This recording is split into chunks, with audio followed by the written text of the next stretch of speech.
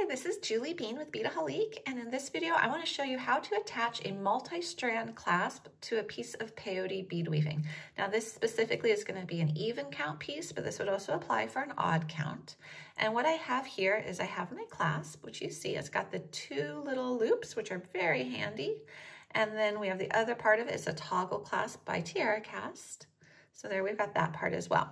So I recommend finishing your length of beadwork first. And I like to tie it off, trim all my ends, make it a nice finished piece of beadwork before I attach the clasp. And I like to do that because it gives me more confidence that if I don't like how my attachment is going with my clasp, I can just pull that piece out and not disturb my beadwork because the most of your time is gonna be spent on your beadwork.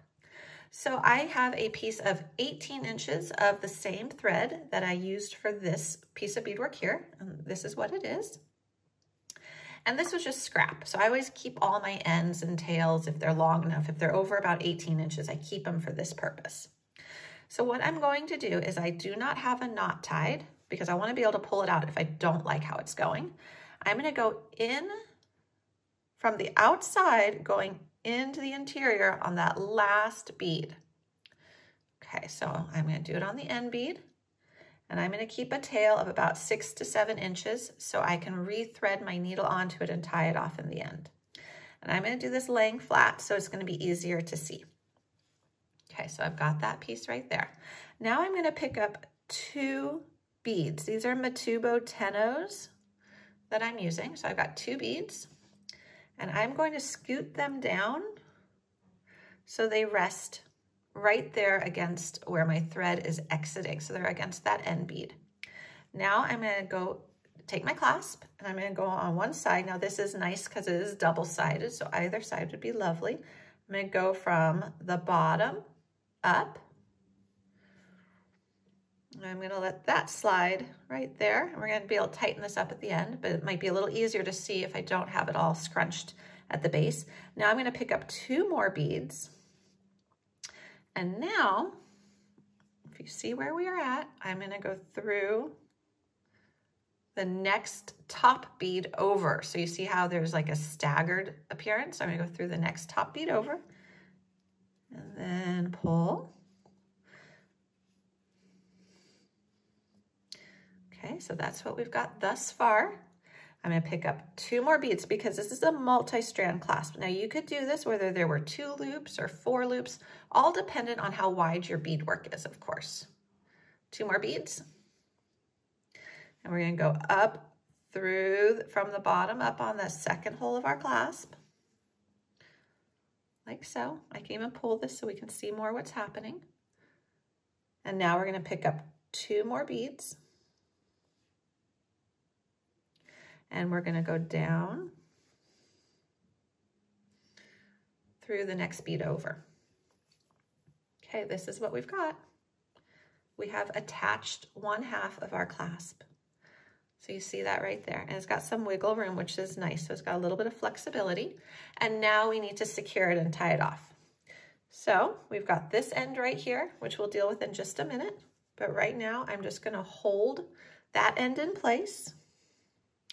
I'm going to go down through another bead and pull. And now I'm going to weave in my thread.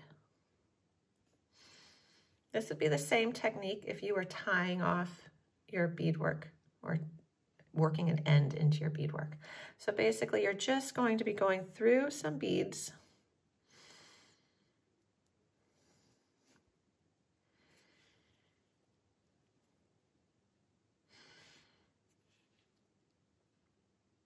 And I like to zigzag a little. I feel like it makes it a little bit more secure. So I don't tie a knot right away. I really do work in my thread a bit. It makes it when I need to tie a knot easier because there's not as much slack. Okay. And now I'm just gonna poke down through the beadwork that where you can see it a little bit better.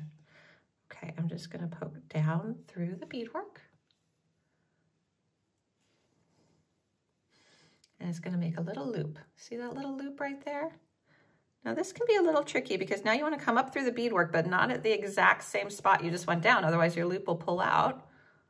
You want to go right next to it so you still maintain a little loop. So you still got that little loop.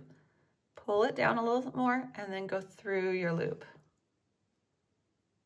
Okay, so we're going to go through our loop and pull. And now we got a little knot. And you could do that several times if you want. And then after you've got as many knots as you want, what you're going to do is you're going to go in and work your tail in just a little bit more.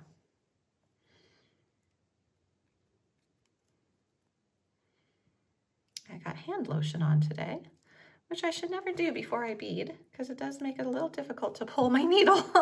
it slips right off. There we go. But what this does is it pulls your knot into a bead usually. It also just gives you a little bit more security. Okay, so I'm going to trim it. Just close to the beads. All right, now I got to go back to the other side.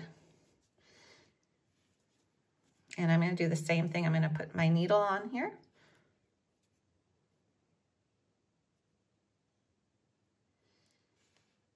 Okay.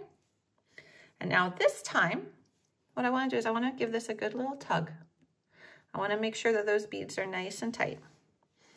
Now I'm going to go down through some beads.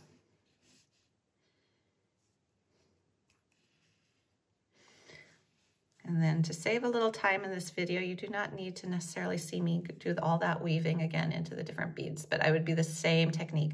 I would just work my thread in and then I would go ahead and tie a knot and trim it. Now for the other end, that is a toggle, you are going to do the exact same method, but you're going to, instead of doing two beads, like we did for that one, you're gonna do four beads. So remember back here, we did two beads to kind of jump up to the little loop.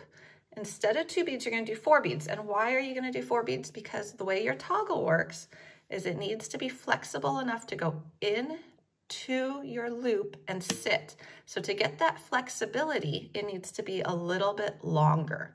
So it needs to have a little bit more, more give to it. It has to be a little longer. So you're gonna do the exact same thing on this side with the toggle, but again, make sure it's a little bit longer so it's not right here. You want it more like right here. And that will give you the ability to loop it into the loop to secure it. And that is how you attach a multi-strand clasp to a piece of peyote bead weaving.